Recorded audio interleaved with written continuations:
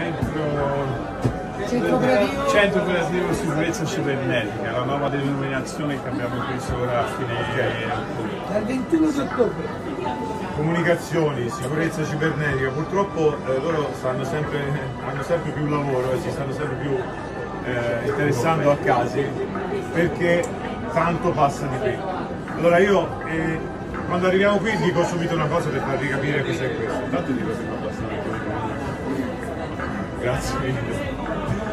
Dico sempre una cosa, questo oggetto qui che tutti avete in tasca, qualcuno in mano, che tutti avete in tasca, da qui passa tutta la vostra vita.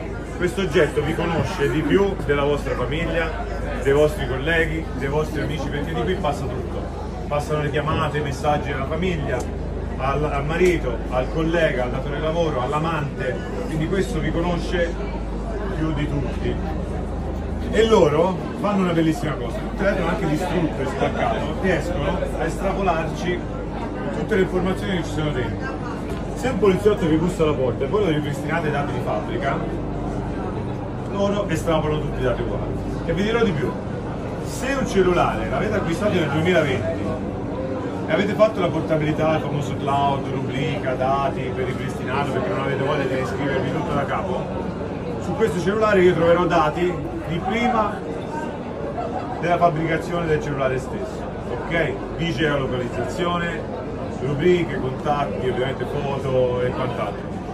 In ultimo, in ultimo, poi si può aggiungere, mi dice perché lo so che l'hai detto mille volte, no, ma in ultimo vi dico che questo apparecchio genera informazioni in entrata e in uscita, quindi quello che non si trova qui dentro, comunque se è entrato e se è uscito lo troviamo altrove, ok?